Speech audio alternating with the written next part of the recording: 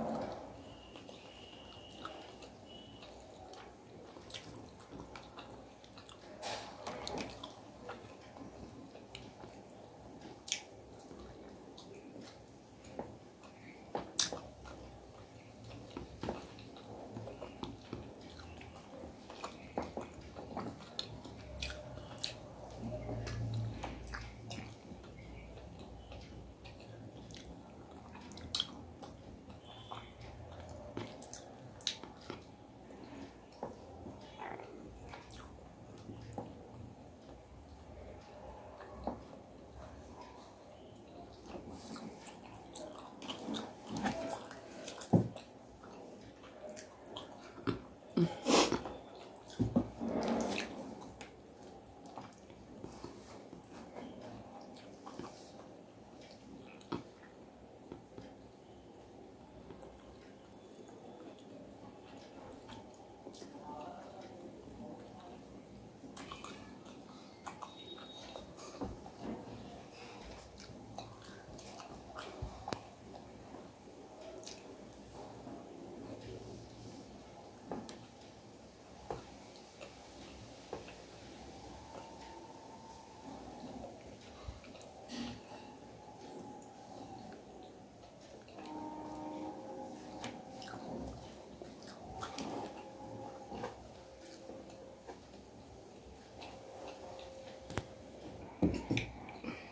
Friend আমার খাওয়া শেষ।